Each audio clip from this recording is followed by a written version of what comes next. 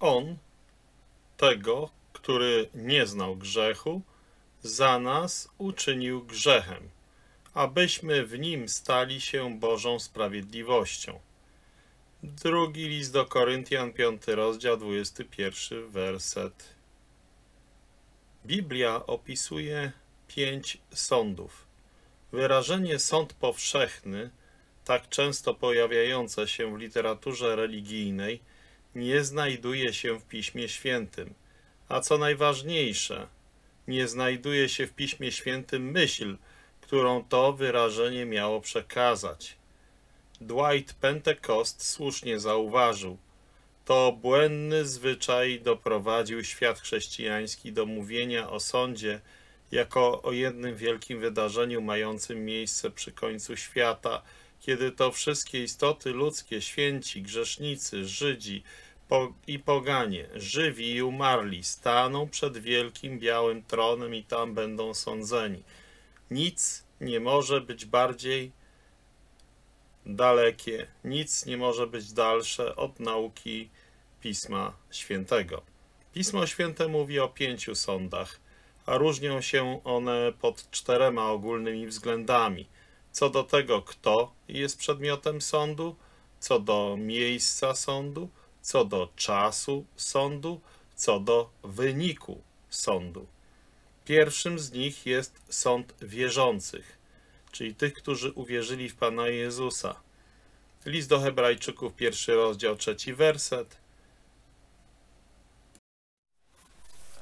Czytając tego tekstu,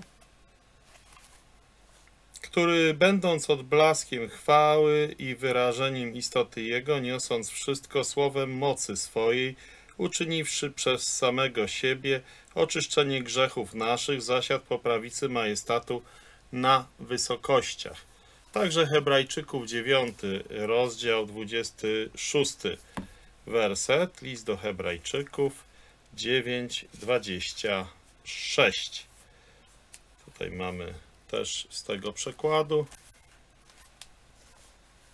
Bo inaczej byłby musiał często cierpieć od początku świata, lecz teraz przy skończeniu wieków raz objawił się ku zgładzeniu grzechu przez ofiarowanie samego siebie. Także list do Rzymian, ósmy rozdział, werset pierwszy, list do Rzymian 8, 1.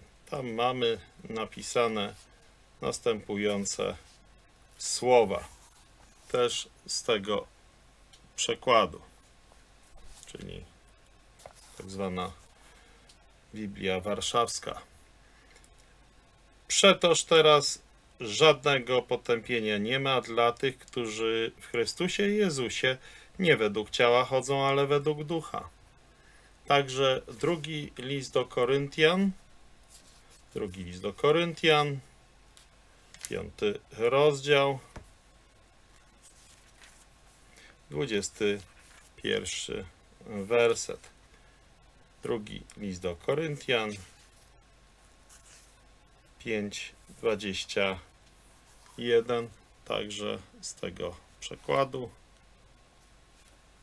czyli 5:21, albowiem On tego, który nie znał grzechu, za nas grzechem uczynił, abyśmy się my stali sprawiedliwością Bożą w Nim. Także Ewangelia Jana, Ewangelia Jana, rozdział 19, werset 17, czyli 19, 17.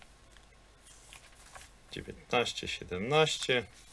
Te słowa, które tutaj są przedstawione, brzmią. A on, niosąc krzyż swój, wyszedł na miejsce zwane trupich głów, które po hebrajsku zowie się Golgota. Tam go ukrzyżowali i z nim drugich dwóch, z jednej i z drugiej strony, a w pośrodku Jezusa. Także możemy kolejny fragment przeczytać.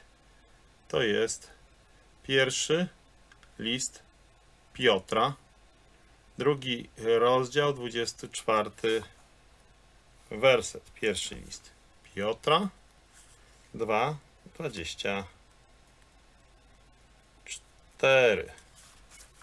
To także jest czytane z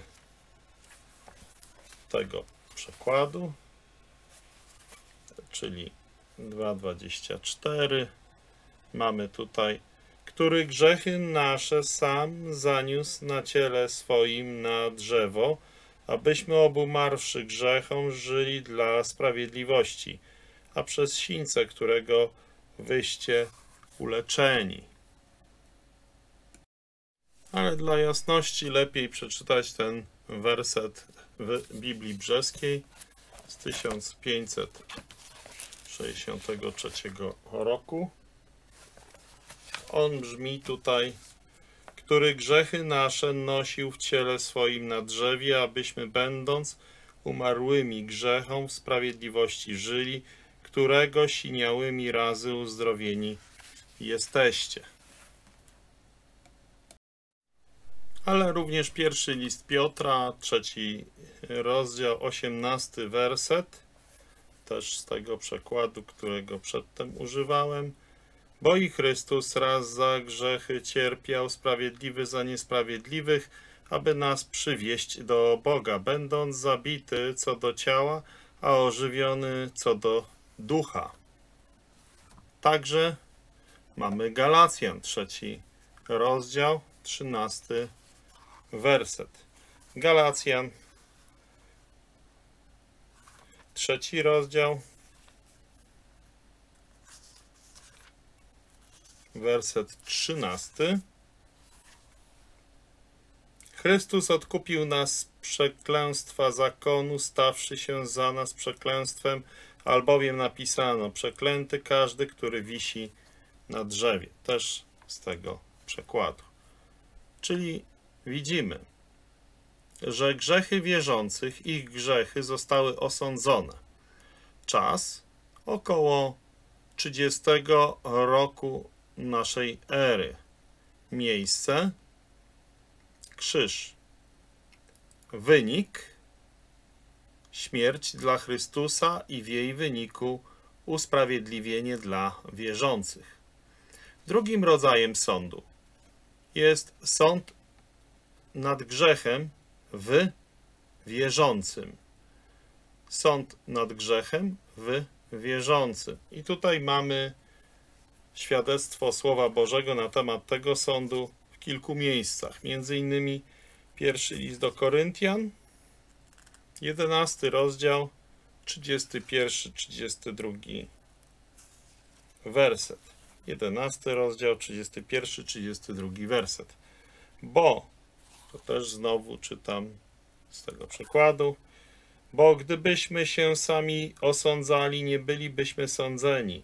Lecz gdy bywamy sądzeni, od Pana bywamy karani, abyśmy ze światem nie byli potępieni. Kolejne miejsce to jest Hebrajczyków 12:7. Hebrajczyków 12 rozdział, 7 werset też z tego przekładu. 12:7 Jeśli znosicie karanie, to Bóg obchodzi się z wami jak z synami, albowiem czyż jest taki syn, czy jest jaki syn, którego by ojciec nie karał? Także mamy pierwszy list Piotra, rozdział czwarty, werset 17. To też ten fragment nam o tym świadczy. 4,17 także z tego przekładu. Albowiem czas jest, aby się sąd począł od domu Bożego, jeżeli zaś naprzód od nas, jakiż będzie koniec tych, co są nieposłuszni Ewangelii Bożej? Także pierwszy list do Koryntian, pierwszy list do Koryntian, rozdział piąty, werset piąty. oddać takiego szatanowi na zatracenie ciała, ażeby duch był zbawiony w dzień Pana Jezusa. Także z tego przekładu.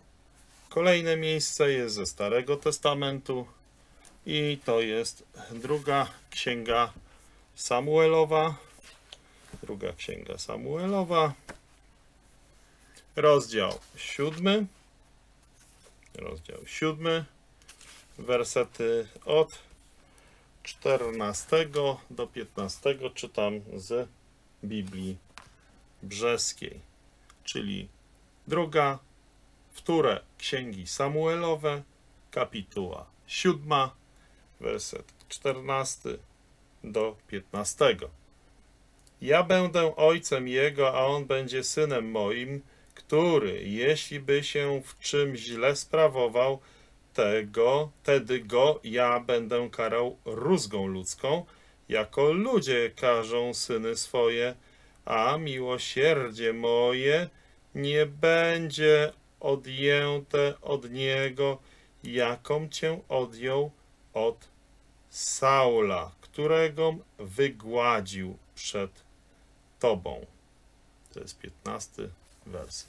Także w tej samej księdze, drugiej księdze Samuelowej, rozdział 12, werset 13 i 14.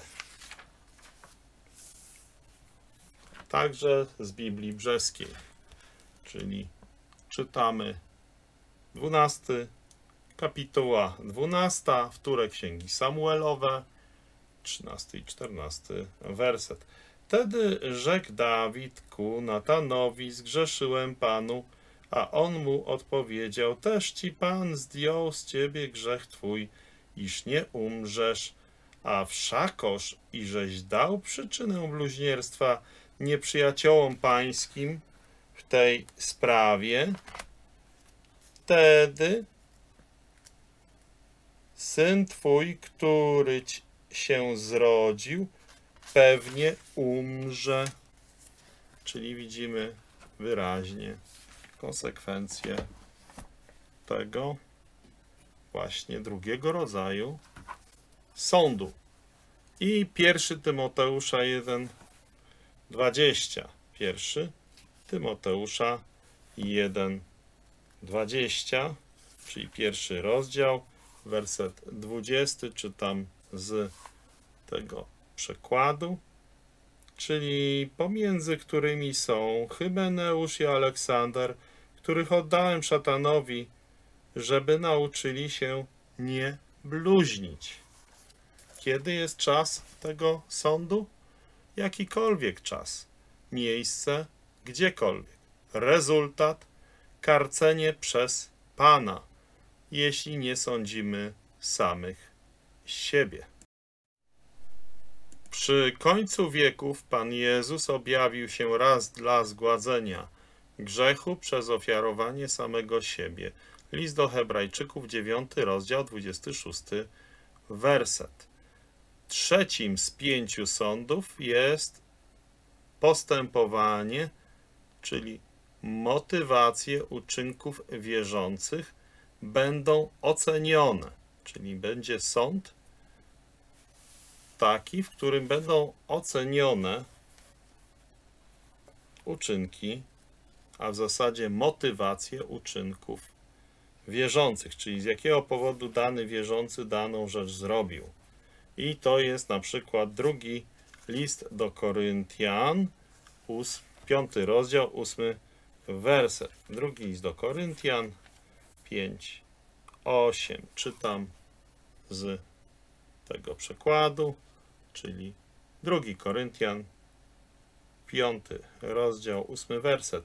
A tak obchodźmy święto nie w starym kwasie, ani w kwasie złości i przewrotności, ale w prześnikach szczerości i prawdy. Tak, dla jasności to jest oczywiście to samo. Tak? Czyli to nie jest tak, że to jest jakiś inny tekst. Jest to Biblia wydana w 1881 roku przez Towarzystwo Biblijne, a wcześniej w 1873 roku była przez Trinitarne Towarzystwo Biblijne w Londynie, natomiast w 1881 przez Towarzystwo Biblijne w Warszawie. Wydana teraz w zasadzie tylko Trinitarne Towarzystwo Biblijne. Tutaj, przepraszam, źle mi się chwyciło. Trinitarne Towarzystwo Biblijne ten tekst drukuje.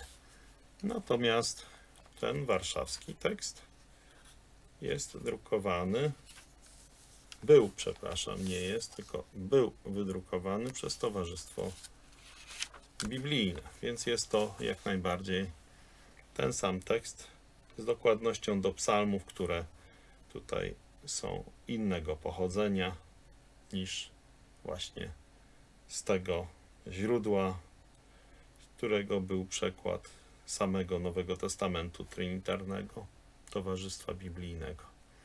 I teraz, jeżeli mamy ten drugi list do Koryntian, piąty rozdział, drugi list do Koryntian, piąty rozdział, ósmy do dziesiątego wersetu,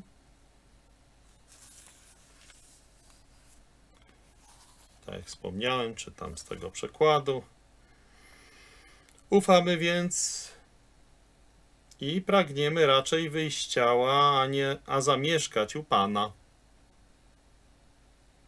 Przeto też usiłujemy, czy tu będąc, czy odchodząc, podobać się Jemu, albowiem musimy wszyscy stanąć przed sądem Chrystusa, aby każdy odniósł według tego, jak czynił w ciele, czy dobrze, czy źle. I kolejne miejsce to jest miejsce Rzymian 14, rozdział 10, werset.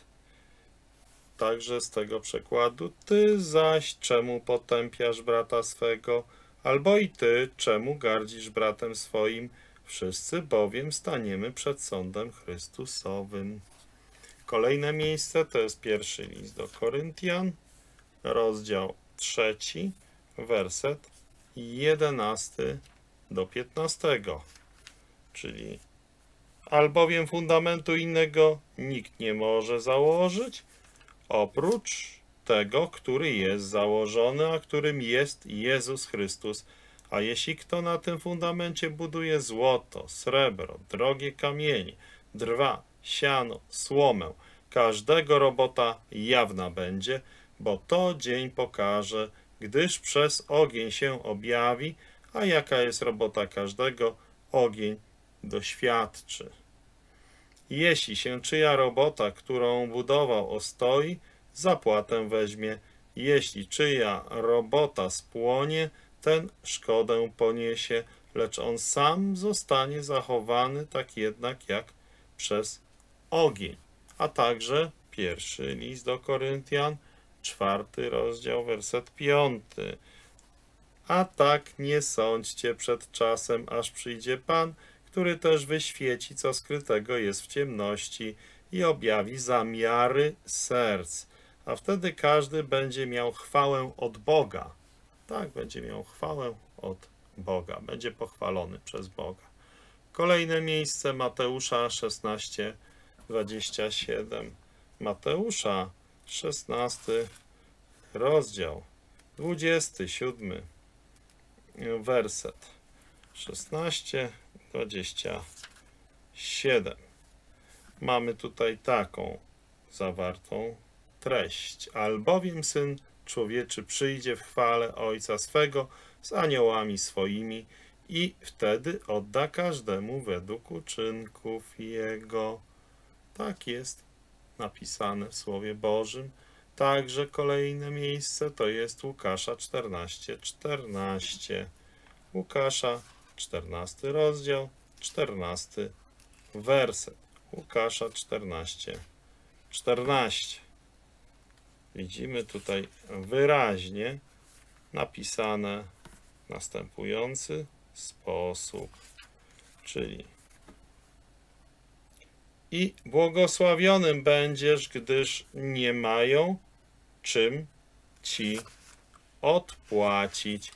Odpłaconym ci bowiem będzie przy zmartwychwstaniu sprawiedliwych.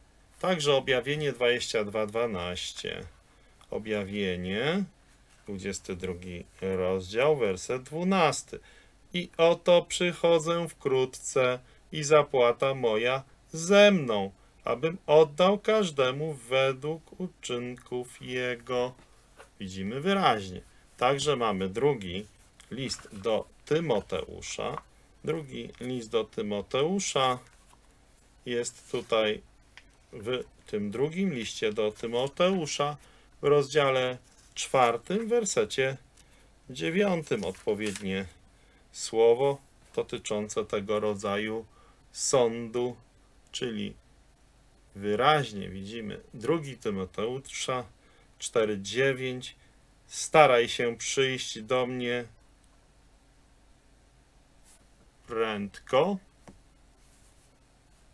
albowiem Demas mię opuścił, umiłowawszy ten świat i poszedł do Tesaloniki, Krescens do Galacji, Tytus do Dalmacji. I tutaj jest. Odtąd przeznaczony mi jest wienie sprawiedliwości, który mi w on dzień odda Pan, sędzia sprawiedliwy, a nie tylko mnie, lecz i wszystkim, którzy umiłowali przyjście Jego. Czyli tutaj jest drugi Tymoteusza 4, 8. Kolejne miejsce jest w Słowie Bożym, pierwszym Tesaloniczan 4, 17. Pierwszy list do Tesaloniczan, rozdział 4, werset 17. Potem my żywi, którzy pozostaniemy wespół z nimi, pochwyceni będziemy w obłokach na spotkanie Pana, na powietrze, a tak zawsze z Panem będziemy. Czyli czytając tego tekstu mamy wyraźnie powiedziane, że będziemy pochwyceni będziemy. Także mamy Mateusza 25, 24 do 30, ale tutaj tak, jeszcze do tego pierwszego Tesaloniczan 4,17 zbliżę to, dlatego że są różnego rodzaju ludzie, którzy twierdzą, że słowa pochwycenie nie ma w tekście Biblii, więc tutaj widać wyraźnie w 17 wersecie, że jak najbardziej słowo pochwycenie jest. Kolejne miejsce, tak jak wspomniałem, to jest Mateusza, Mateusza, Ewangelia, Ewangelia według Mateusza, rozdział 25,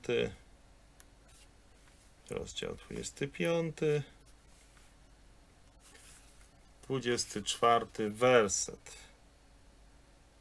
A przystąpiwszy i ten, który wziął jeden talent, rzekł, Panie, wiedziałem, żeś człowiek srogi, że żniesz gdzieś nie siał i zbierasz gdzieś nie rozsypywał, bojąc się tedy poszedłem i skryłem talent twój w ziemię, oto masz, co jest twego. A odpowiadając Pan jego rzekł mu, sługo zły i gnuśny, Wiedziałeś, iż żnę, gdzie mnie siał i zbieram, gdzie mnie rozsypywał. Powinieneś więc był dać pieniądze moje wekslarzom, a ja przyszedłszy wziąłbym, co jest mojego z lichwą.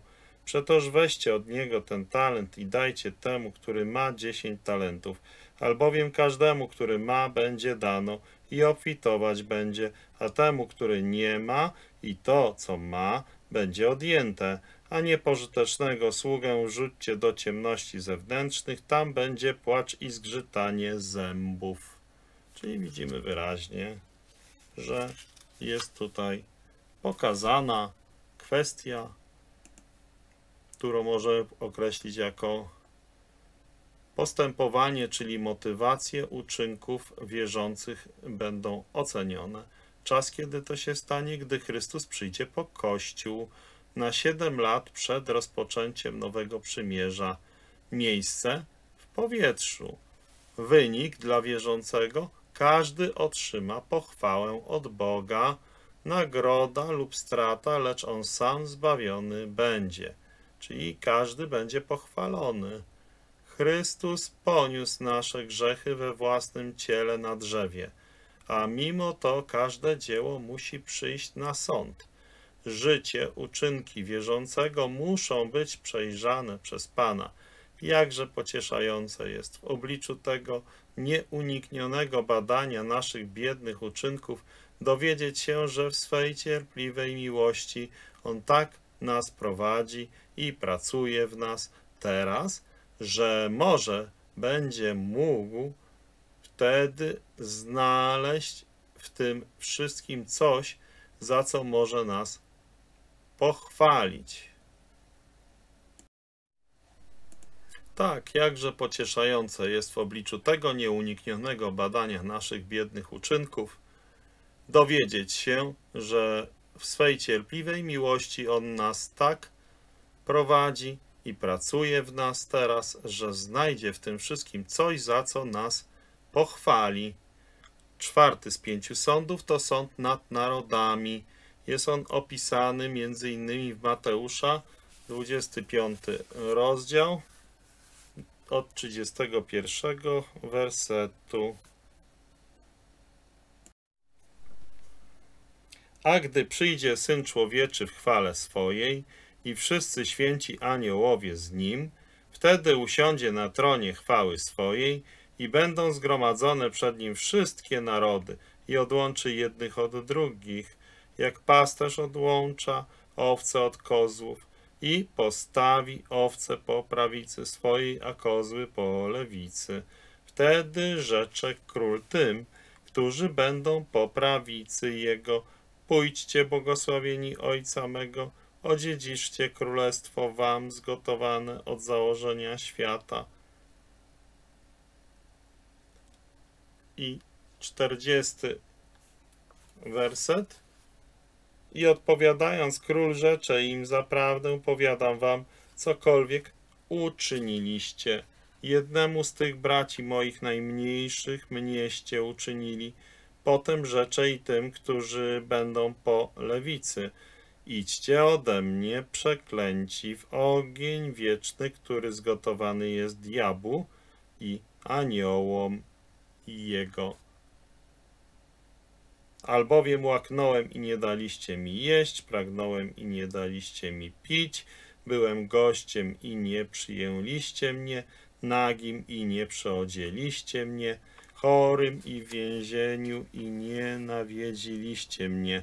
Wtedy mu powiedzą oni, mówiąc, Panie, kiedyśmy Cię widzieli łaknącym albo pragnącym, albo gościem, albo nagim, albo chorym, albo w więzieniu i nie służyliśmy Ci. Wtedy im odpowie, mówiąc, zaprawdę, nie, zaprawdę, powiadam wam, czegokolwiek nie uczyniliście jednemu z tych najmniejszych, i mnieście nie uczynili, i pójdą ci na mękę wieczną, ale sprawiedliwi do życia wiecznego.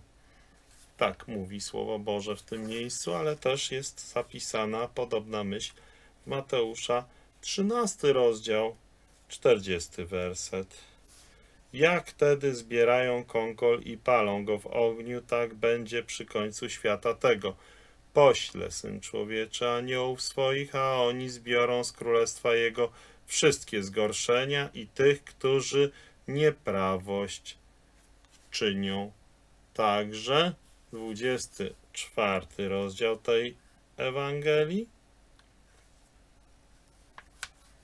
wersety 21-22.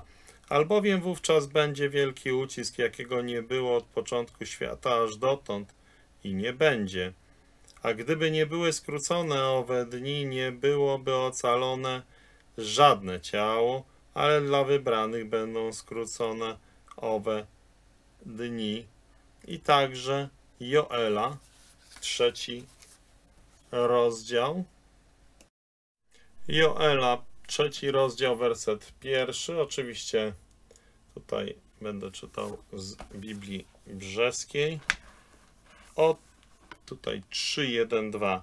Oto w ony czasy i w ony dni, w które przywrócę z więzienia Judę i Jeruzalem, zgromadzę wszystkie narody, a rozkażę im znić na dolinie Jozafat, a tam uczynię sąd z nimi o lud mój i o dziedzictwo me izraelskie, które oni rozproszyli między lud postronny, a podzieli między się ziemię moje.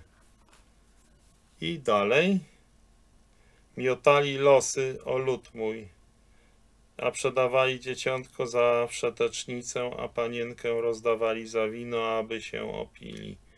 Także szósty werset. A przedawaliście syny judzkie i jerozolimskie Grekom, abyście je precz oddalili od granic ich. Oto ja wzbudzę je od miejsca tego, do goście je byli zaprzedali, a przywrócę nagrodę waszą na głowy wasze. Także dwunasty werset. Niech się ocucą, a niech Wnijdą narodowie w dolinę Jozafata, bowiem tam zasiędę na sąd wszystkich okolicznych narodów. Puśćcie sierpy, albowiem żniwo dojrzewa. Pójdźcie, a przyjdźcie, a bowiem prasa pełna jest, a sępy, a stępy, a stępy opływają, gdyż złość ich rozmnożyła się. Wielka jest wielkość ludu w dolinie upadu, a bowiem dzień pański jest bliski w dolinie upadu. Tak jak widać, jest to Joela, trzeci rozdział. Także Księga Objawienia, Księga Objawienia, rozdział siódmy, werset czternasty. Księga Objawienia, rozdział siódmy, werset czternasty. I rzekłem mu, Panie, Ty wiesz, i rzekł mi, to są ci, którzy przyszli z ucisku wielkiego i obmyli szaty swoje i wybielili je we krwi baranka. Dlatego są przed tronem Bożym i służą mu we dnie i w nocy przybytku jego, a ten, który siedzi na tronie, jak namiotem osłoni ich. Widać, że byli zamordowani w czasie wielkiego ucisku. I kolejne miejsce, które nam o tym mówi, to jest drugi Tesaloniczan, drugi rozdział werset trzeci do dziewiątego.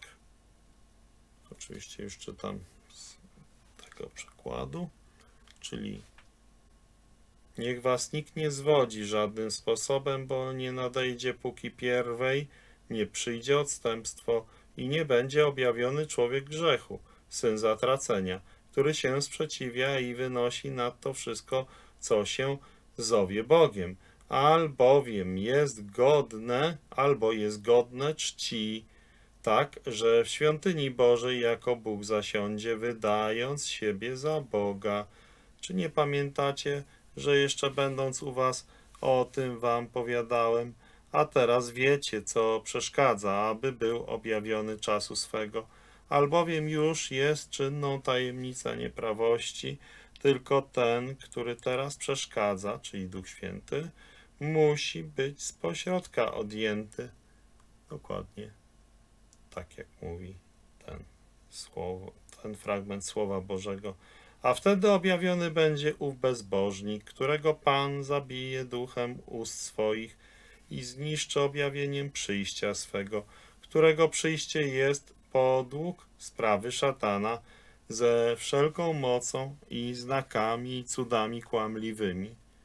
Tak. I kolejne miejsce to jest 1 Koryntian 6:2.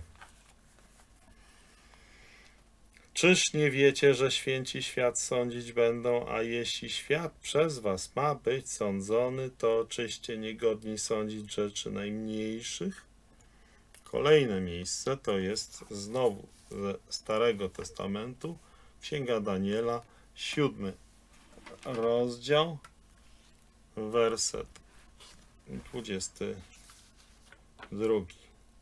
Daniela 7, 22. Aż starodawny przyszedł, a sąd podan jest świętym Najwyższego i czas przyszedł, który święci otrzymali królestwo. To było czytane oczywiście z Biblii brzeskiej.